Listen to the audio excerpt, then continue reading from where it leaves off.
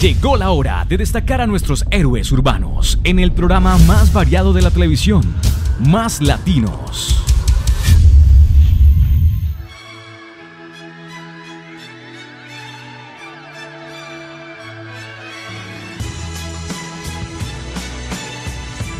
Hola amigos de Más Latinos, nuestra reflexión en el día de hoy tiene que ver con que el ser humano ha desarrollado y evolucionado su capacidad de descubrir, explorar e inventar.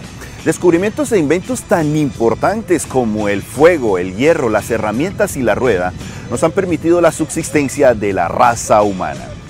En el siglo XVII, Thomas Newton inventa la máquina de vapor, la cual sería mejorada años más tarde por James Watt.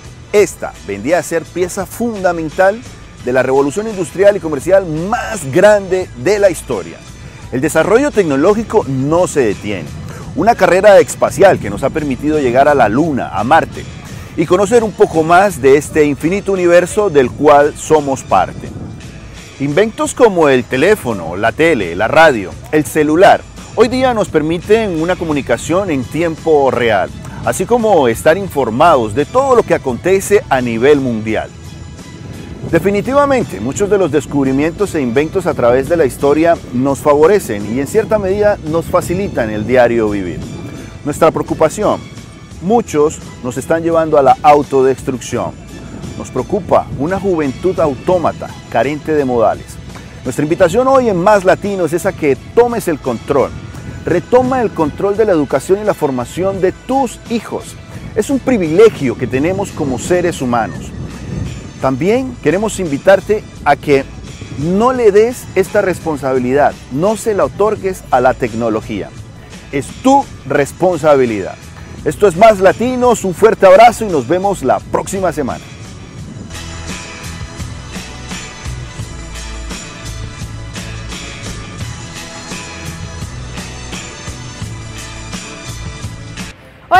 Gracias por estar pendientes y cumplir su cita con el programa que desde la capital del mundo llega a ustedes con mensajes e historias de personas que son ejemplos de vida. Antes de continuar, quiero invitarlos a todos ustedes a que nos sigan en nuestras redes sociales como Facebook, Twitter, Instagram, YouTube, se suscriban, nos den like, así podemos seguir compartiendo todo lo que pasa con nuestros hispanos. Ahora sí, vamos a iniciar con el perfil latino, alguien que es un verdadero modelo a seguir y nuestra reportera Diana tiene todos los detalles. Él es MC Ceja y está aquí en Más Latinos. Estás viendo Más Latinos.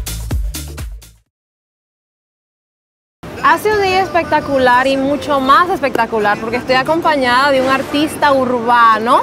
Aquí tenemos a MC Ceja que está promocionando su nuevo sencillo. ¿Cómo te encuentras en este día? Y gracias por permitirnos hacerte la entrevista para Más Latinos. Hola, hola Diana, de verdad bien contento, estoy aquí, de verdad, un bonito día aquí en Central Park. Eh, bien contento de verdad con todo lo que está pasando, de verdad, con mi carrera ahora mismito. La bien la disco con una minifalda. ¿De qué se trata? Y cuéntanos un poquito de, de- del tema y qué te inspiró. Si el tema se titula Solo me dejó, es una historia de este hombre mujeriego que, que su mujer se entera y pues manda a una amiga a seducirlo y él cae en la seducción y pues termina solo. Nunca pensé que iba a tenderme una trampa. ¿De dónde, ¿De dónde surge este nombre de MC Ceja? Que jamás en mi vida lo hubiese puesto en mi, en mi cabeza como junto. Yo dije, ¿de dónde habrá salido ese nombre? Lo que pasa es que eh, a mi papá eh, le, decían ceja antes que a mí. Y pues a mí me decían ceji- cejita este, mientras era pequeño. Y pues ahí tenemos lo que son los battles o las tiraderas. So, yo decidí pues hablar de mis cejas, que era eh, algo grande en mi cara. Y pues decidí ponerlo ahí al frente antes de que nadie pues se fuera a burlar o a tratar de usarlas en mi contra. Mira qué, inte- qué inteligente de tu parte, déjame ver tus cejas. Mira aquí, mira A ver. aquí.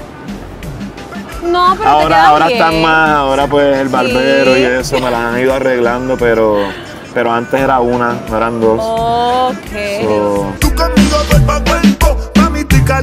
¿Cómo empezó tu carrera? Pues mi carrera comienza eh, como bailarín. Eh, a mí yo bailaba en un grupo de baile junto a un par de mis amigos de, pues, de crianza. En Puerto Rico. En Puerto Rico, sí.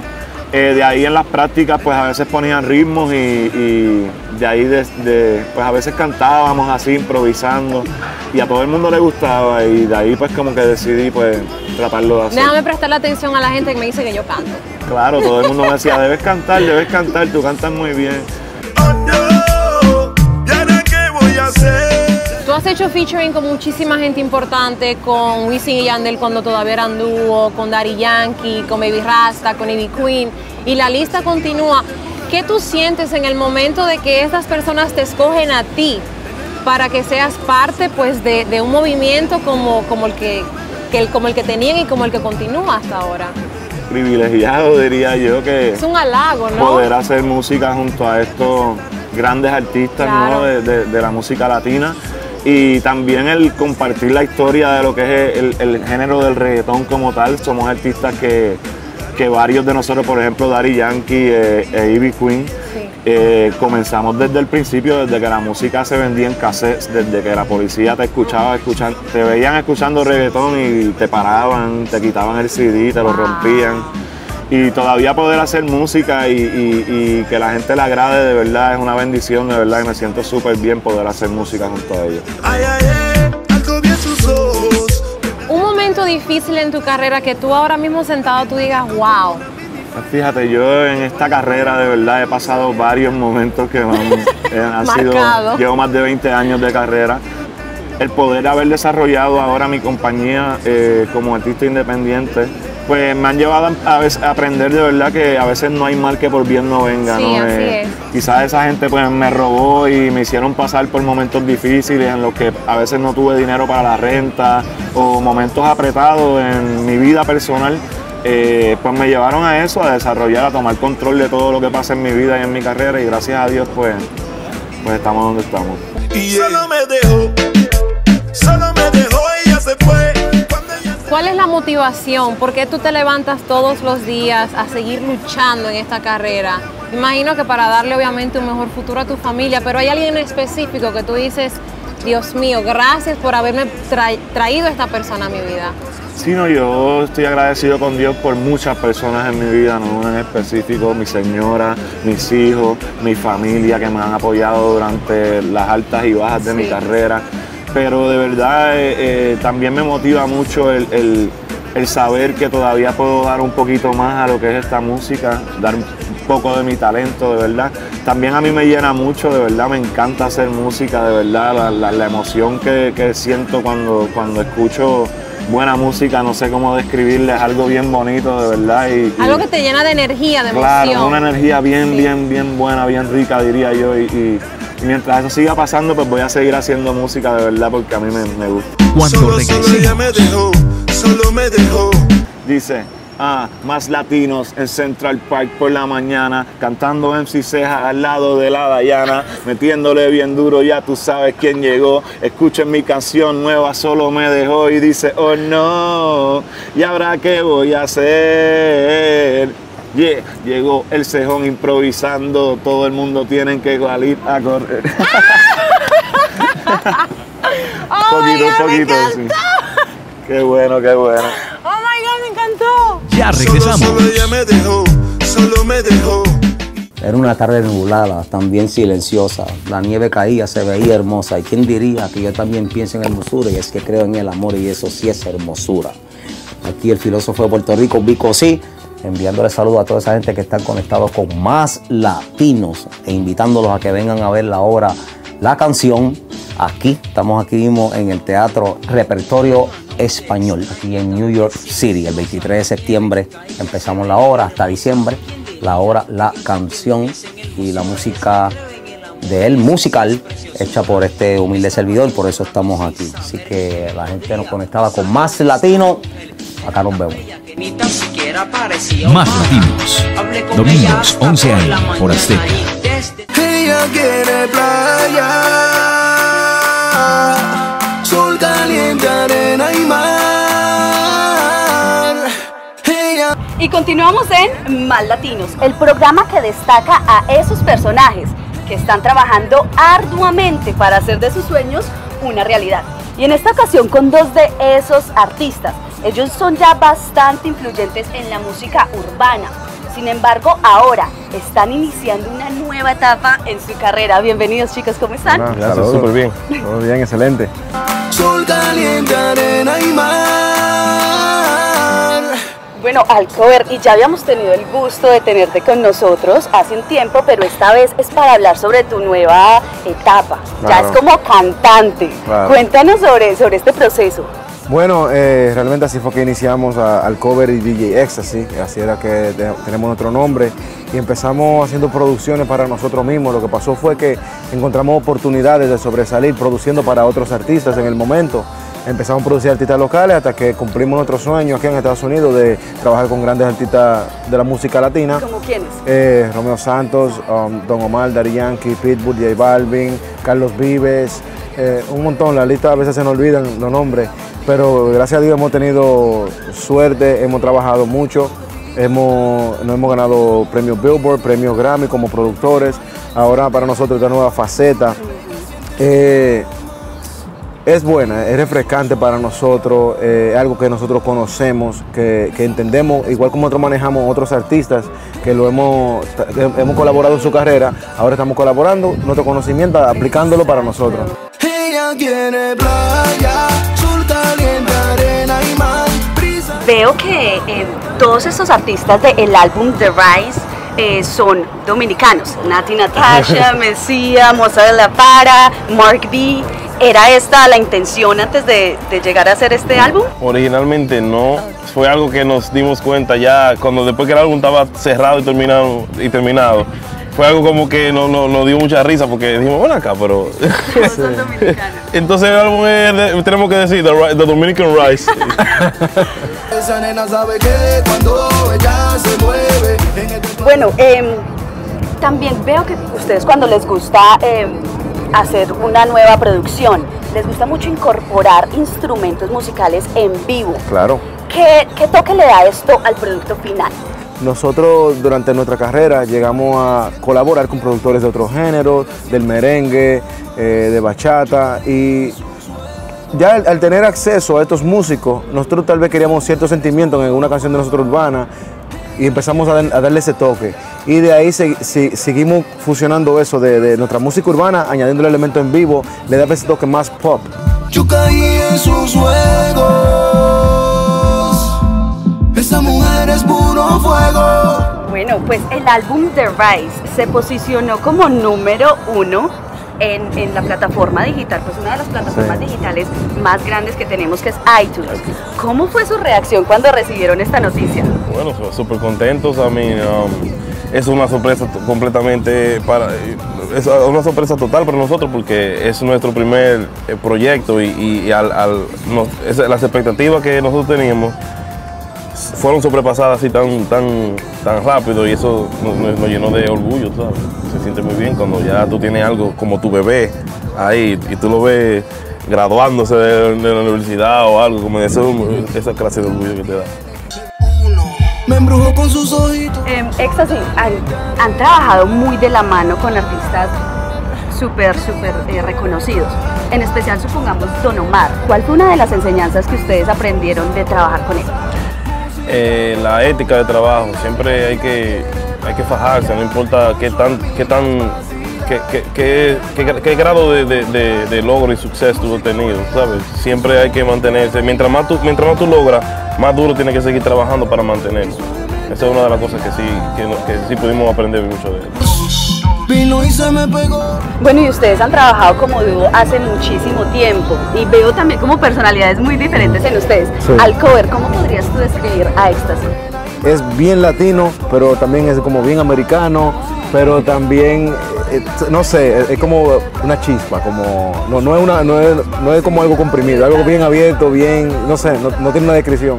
Buenísimo. ¿Y tú cómo podrías describir a Alcover? Bueno, yo diría como una persona que, eh, que es eh, un ejemplo a seguir para, para muchas personas, eh, admirable y, y una, buena- una buena amistad. una. Muchas gracias, gracias. Bailando me enamoró. Para despedirnos, eh, un consejo que pudieran darle a estos jóvenes que están, como ustedes, al igual que ustedes, siguiendo sus sueños aquí en New York, un espacio que es bien competitivo.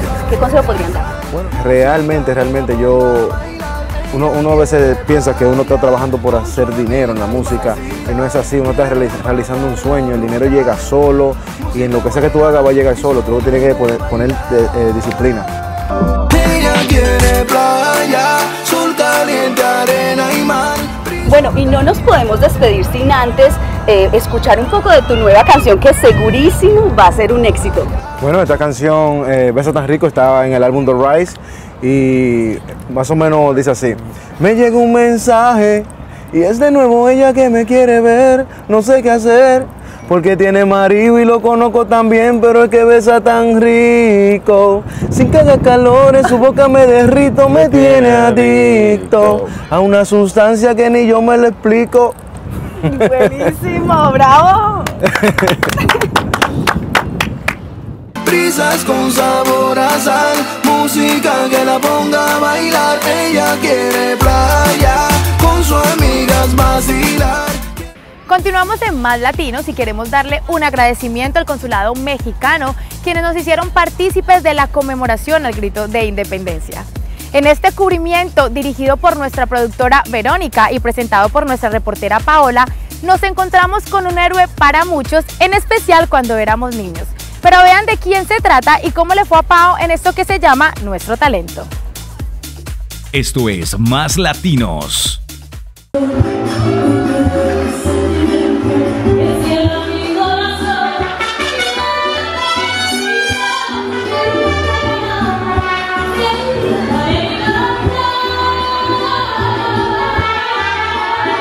Hola, hola Paula, mucho gusto, gracias por eh, de entrevistarnos, por esta, por esta eh, comunicación con el público y felices de festejar nuestra independencia con todos nuestros paisanos latinos y mexicanos. Es importante porque ustedes son íconos de la cultura mexicana. ¿Cómo se sienten venir hasta New York a compartir con todo su pueblo? Pues muy bien, porque este, estamos con nuestros paisanos y nuestra gente de habla hispana, celebrando la independencia de nuestro bello país y bueno, al estar en Estados Unidos es muy importante celebrarlo también y bueno, pasarla bien un rato, bailar y de todo. ¿Cómo vienen ustedes a compartir? ¿Qué tipo de show nos van a mostrar? ¿O simplemente van a estar acá acompañándonos? No, nada más. Queremos ver algo. Ojalá hubiera lucha libre, pero no, esta noche solamente venimos a compartir con, el, con los mexicanos, con, con todo el público de habla hispana para celebrar. Cuéntanos un poco de tus raíces, ¿de dónde vienes de México? Bueno, yo soy del Distrito Federal eh, o de la Ciudad de México. Mi padre, el santo, nació en Tulancingo, Hidalgo. Y vamos a seguir de generación en generación, ¿cierto? Pues ya va la tercera con él. Ya él después se encargará de que haya una cuarta generación. Amigos de Más Latino, les mandamos un abrazo, un saludo con mucho cariño. El hijo del santo. Y Santo Junior, que viva México.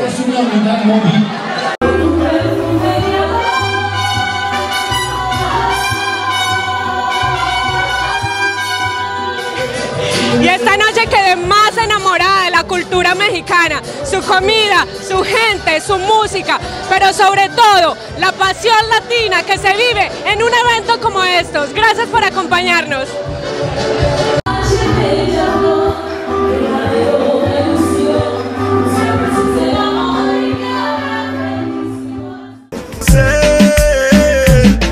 Estás promocionando obvio tu nuevo sencillo, pero ¿qué otros proyectos vienen por ahí? Bueno, este nuevo sencillo es del disco que se titula Mendo, The River, El Renacimiento. Eh, es un disco que está ya próximo a salir a finales de septiembre o principios de octubre, estamos todavía ahí.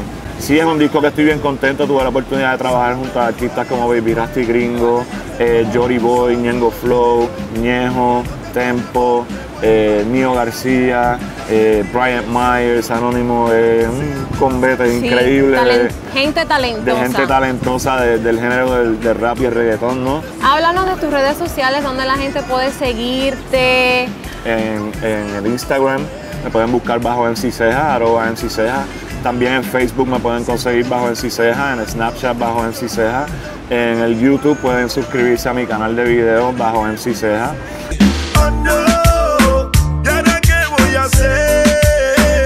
¿Qué le dirías tú a alguien que pueda estar viendo esta entrevista que, que está en los zapatos que estuviste, vamos a decir, 5 o 10 años atrás?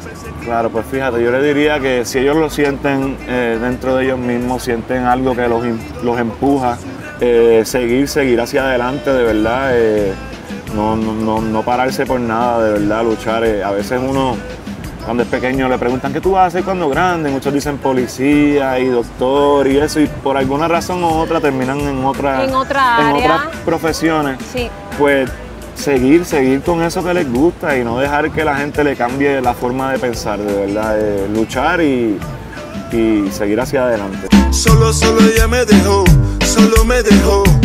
¿A ti te gusta o yo digo que le gusta? Porque él hace rap, rap y reggaetón y música urbana, que está todo mezclado. La improvisación. Eh, un poco, sí, sí, me defiendo, me defiendo, sí. Así que yo quisiera que tú nos deleitaras con ese talento y nos compusieras ahí como algo chévere para más latinos, aquí con más latinos, Diana, MC Sea. Central Park. Eso mismo, eso mismito, pues vamos, sí, claro que sí, mira, dice, ah, dice, ah, más latinos en Central Park por la mañana, cantando MC Ceja al lado de la Dayana, metiéndole bien duro, ya tú sabes quién llegó, escuchen mi canción nueva, solo me dejó y dice, oh no, ¿y ahora qué voy a hacer? Yeah, llegó el cejón improvisando, todo el mundo tiene que salir a correr. ¡Oh, poquito, God, poquito! Qué bueno, qué bueno. ¡Wow! bueno. Dios mío, yo creo que ni volviendo a nacer yo puedo hacer eso. Te dije, déjame pelearte más. Toda la noche déjame pelearte pa' que vacile. Qué gusto, qué placer haber compartido contigo y más latinos, mi persona, te apoyamos, creemos en ti. Hemos visto mucho de tu trayectoria, así que felicidades. Muchas gracias. Muchas bendiciones. Yo sé que lo grande está aún por venir, así que pa'lante, como dicen. Muchas gracias, de verdad, y gracias por la invitación. Gracias a ti por haberla aceptado. Señores, yo regreso contigo, Vanessa. Seguimos con más latinos. Oh no, ¿y ahora qué voy a hacer? Mi chica me dejó, solo, solo ella me dejó, solo me dejó. Pero me dejó aquí mi gente, que el más latino. Ya tú sabes, en Ciseja. Saludos. Yeah, yeah. Yeah, Ceja, Get Low Record, Lelo. Estás viendo Más Latinos. Hemos llegado al momento de despedirnos. Ustedes muchas gracias porque semana tras semana nos reportan sintonía y por todo el apoyo brindado. Como cada ocho días, mi frase de la semana. No intentes ser el mejor de tu equipo, intenta que tu equipo sea el mejor. Una recomendación. Se viene el evento dedicado para los talentos y vamos a estar destacando lo mejor del área latina. Así que mi invitación es para que estén muy pendientes y puedan hacer parte de esta noche mágica. Recuerden que nos pueden seguir en nuestras redes sociales. Les mando un abrazo muy grande en nombre de todo el equipo de producción. Nos vemos dentro de ocho días. Esto fue Más Latinos. Nos vemos la próxima semana en Más Latinos.